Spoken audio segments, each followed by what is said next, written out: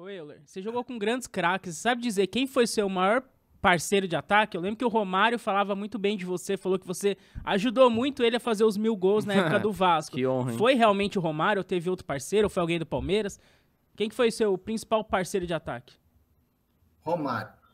Romário Boa. por tudo. Por Sem um sonho realizado.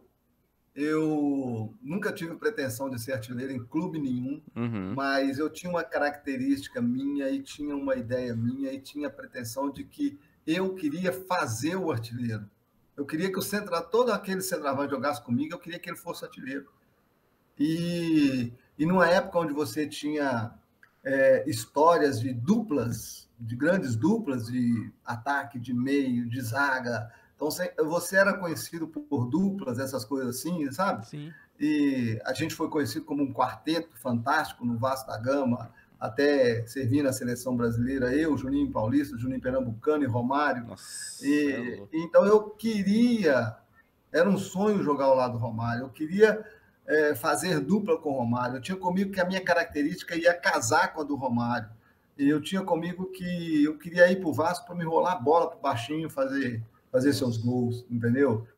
E quando essa oportunidade surgiu, eu não pensei duas vezes, não, cara, porque era um sonho realizado, para a ser realizado. E aí eu fiz dupla com ele, realizando o sonho, e de cara também poder jogar com ele na seleção brasileira. Euler, teve Também um zoom, zoom na época que o Romário podia jogar o Mundial pelo Palmeiras um jogo só. Não sei como é que era esse acordo exatamente, mas isso foi ventilado na época da imprensa. Você lembra disso? Será tinha esse burburinho mesmo ou o pessoal tava, tava viajando na maionese? Ô, Thiago, desculpa, eu não me recordo dessa, É, não, não se recorda.